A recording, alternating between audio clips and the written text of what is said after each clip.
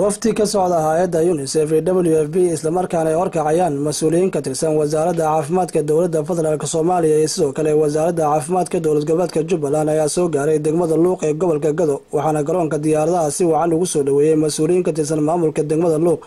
Soo dhoweyn kadib ayaa waxay kulan la qaateen maamulka degmada luuq waxaana ugu horeyn ka warbixiyey ujeedka socdaalka wafdiga gudoomiyaha degmada luuq mudane maxamed cabdulaahi muude garruub waxaa maanta degmada luuq soo gaaray wafdi ballaaran ka socda hay'adda w b iyo unisef wasaaradda caafimaadka goboleedka jubbaland wasaaradda caafimaadka federaalka xubno ka socda.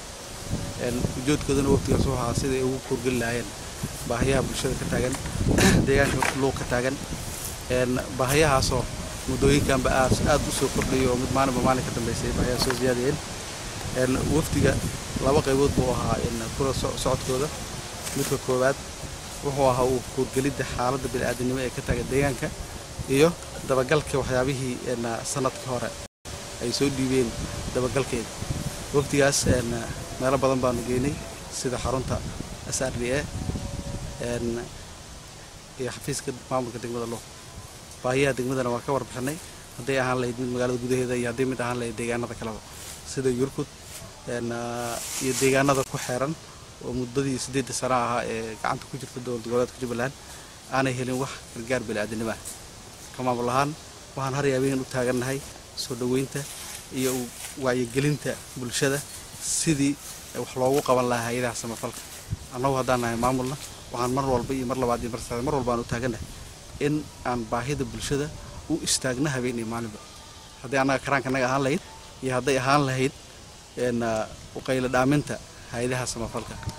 Asalaamu calaykum waraxmatullahi wabarakaatu bulshada degan marka goobo badan waqtiyo badan ayaa waxay hareeyeen dagaalo ba'an oo aan mataqaana la isku danaynayn inkastoo laga heshiiyey laakiin waxaa yaal qashimo fara badan oo haddana dadku ay la liicayaan oo ay qaadi mataqaana muddo badan ay wadeen. Haddana xoogaa aad muddo soo hore inay dhaafto alxamdulilaah kana dhalan kara virus viruskaasoo u gudbi kara. Cudurrada kala gedisan oo shubanbiyoodka sidoo kaleeto cudurrada dilayga ah oo u gudbi kara. Ayaa muxuu ahay laga sheekaynayey iyadana casharadaas waan qaadannay.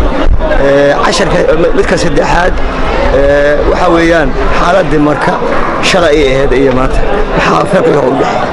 Farqi weyn ayaa u dhexeeya farqigaasoo ku saabsan shalay sida uu ahaa ummadda dadku jooga shacabka jooga marka isma uusan fahamsanin hadda wuu isfahmay shahru islaabayaa habada rooti ay kala goosanayaan amni weeyaan amnigaas oo dadkuna ay macno weyn ay ugu fadhiyaan waxaan u sheegaynaa soomaali u dhalatay gobolka shabeellaha hoose ama marka inay magaalada marka nabad tahay lana imaan karo la iskuna hadlayn karo marka markaa soo qaato oo ku soo laabto magaalada marka waxay ahaa jirtay iyo hadda farqi weyn baa u dhexeeya farqiga u dhexeeya waxaa ka mid ah magaalada waxay ahaa jirtay meel burbursan oo dhib aska taagan yahay.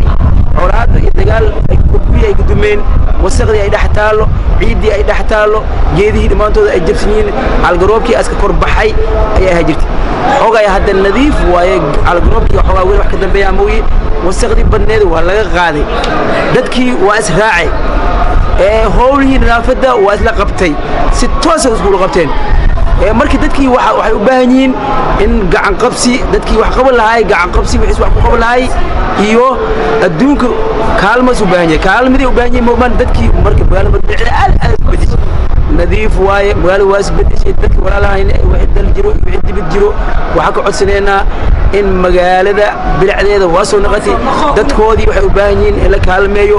Waxaa ka aheen wax kaloo dhib ma jiraan nadiif waaye dadkii waa israacay hadda ummad badan ba maanta walaalahayna anaga shaabaa isla cawaana meesha ajoowaad waa liil taagan yahay.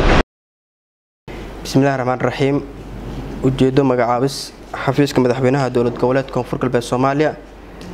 Ujeeddo xeer madaxweyne kuna saabsan magacaabid gudoomiyaha maxkamadda sare ee dowlad goboleed koonfur galbeed soomaaliya madaxweynaha dowlad goboleed koonfur galbeed soomaaliya markuu arkay qodobka afartan iyo sideedaad farqadiisa labaad iyo qodobka toddobaatan iyo labaad farqadiisa koowaad ee dastuurka dowlad goboleed koonfur galbeed soomaaliya markuu dhageystay tala soo jeedinta wasiirka wasaaradda cadaaladda dowlad goboleed koonfur galbeed markuu garowsaday in laga maarmaan ay tahay in dib u habeen dhab ah lagu sameeyo garsoorka dowlad goboleedka koonfur galbeed soomaaliya markuu garowsaday baahida weyn ee shacabka reer koonfur galbeed ay u qabaan in ay helaan garsoor ka turjumaya siyaasadda garsooreed ee dowlad goboleedka koonfur galbeed kuna salaysan cadaalad iyo cadaalad hufnaan iyo garsoor dhab ah oo ka taabagala dhammaan gobollada iyo degmooyinka dowlad goboleedka koonfur galbeed.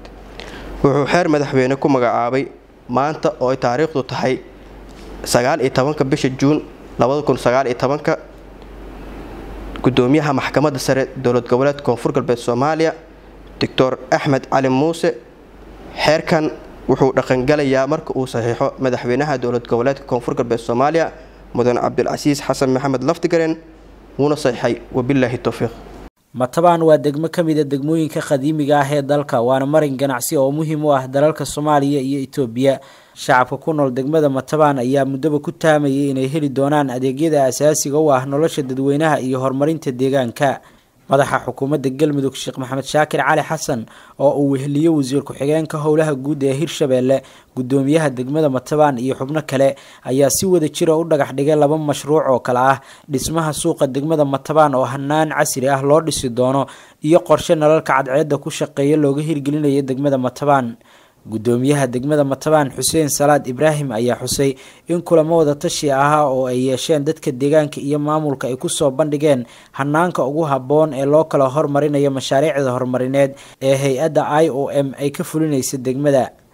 Mashruucani wuxuu naga kaalmay doonaa nagana saacidi doonaa waxbarashada iyo ganacsiga xilliga habeenkii ah oo runtii bulshadu ay dhibaatooyin fara badan ku qabeen. Sidoo kale waxaan rajaynaynaa inuu naga caawiyo amniga sugitaankiisa oo kaalin muhiim ah uu ka qaadan doono. Aad baan ugu faraxsannahay. Mashaariic badan ayaa insha allah noo soo socoto. Waxaan rabaa halkan inaan uga mahad celiyo hay'adda i o m. Waxaa kaloon rabaa inaan uga mahad celiyo wasiir ku-xigeenka howlaha guud iyo guriyeynta dowlad goboleedka hirshabeelle waxaan rabnaa inaad muujidaan bulshooy dareenkiinna ku aadan rabitaanka mashaariicdan. Sidaad u soo dhoweynaysaan inaad muujidaan ayaa loo baahan yahay. Wasiir ku-xigeenka howlaha guud ee hirshabeelle cabdiraxmaan cabdi iidow ayaa xusay in ay muhiim tahay in si wada jir ah looga wada shaqeeyo horumarinta degmada matabaan runtii mashaariic badan ayaan rajaynaynaa insha allah in la dhagax dhigi doono oo ugu horreeya iskuulladii xarumihii caafimaadka iyo qaybo kaloo kala duwan biidnillaahi alkariim ayagana waan rajaynaynaa. Annagana ka wasaarad ahaan howlaha guud iyo guryeynta dowlad goboleedka hirshabeelle habeen iyo maalin waxaan u taagnaan doonnaa hadduu ilaah yidhaahdo in ay matabaan ka daba tagta degmooyinka kaloo mashaariicda ay ka fulayso runtii mashaariicdaas kala duwanoo runtii ka socota degmooyinkana waxaan rajaynaynaa insha allah inaan ayadana qaybta ay ku lahayd runtii matabaan ka qaadan doonta madaxa xukuumadda galmudug sheekh maxamed shaakir cali xasan ayaa kula dardaarmay dadka deegaanka in ay muujiyaan lahaansho oo ay ka wada shaqeeyaan ilaalinta goobaha danta guud ee laga hirgelinayo deegaanka. Waxaan leenahay marka horumarkaas gacmo furan sida aad ugu gogasheen haddeerba u soo dhowayseen ilaa uu ka gaara yoolka ugu dambeeya in gacmihiinnu sidaas ay ahaadaan ay u goglanaadaan.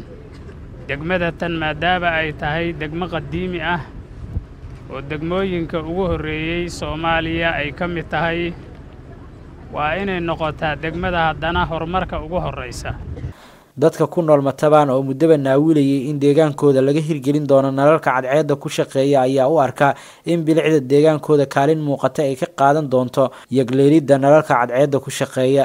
Waa soo dhoweynaynaa wuxuu wax ka qaban doonaa insha allah ilayska ama soolarkaasi bilicda magaalada sida ganacsiga amniga arrimaha bulshada ay ugu horeyso kubadda cagta. Sidoo kale waxaan u mahad celinayaa si gaar ah waxaan u mahad celinayaa dowlad goboleedka hirshabeelle. Markaan codsannay in maarata shayga ugu maarata ugu horreeya oo noo noqdo iftiinkaas ilayska.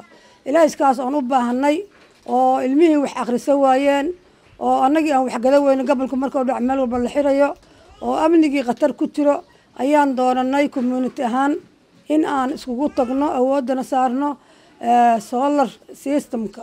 Markaas ayay noo suuro gashay in aan helno hay'adda ayaan aada iyo aada ugu mahad celinaynaa dadka ku nool matabaan oo noloshoodu ku tiirsan tahay dhaqashada xoolaha iyo tacabka beeraha ayaa baahi weyn u qaba inay helaan suuq ay ku dukaamaystaan oo hanaan casri ah u dhisan. Ayadoon ku ganacsan jirnay meelo bannaan ah haddana aan helayno suuqii degmada oo naloo dhisayo waxaa ku bedeli doonaa wax aada iyo aada u weyn. Ganacsiga magaalada hoosuu ahay waxaan rajeynaynaa inuu kor nagu kabco markiina loo dhiso suuq kala xiran xagga xoolaha midkii lagu gadi lahay xagga firshooyinka xagga qudaarta xagga hilibka. Waxaan rajeynaynaa magaalada dhaqdhaqaaq aad u badan inuu ku soo biiri doono.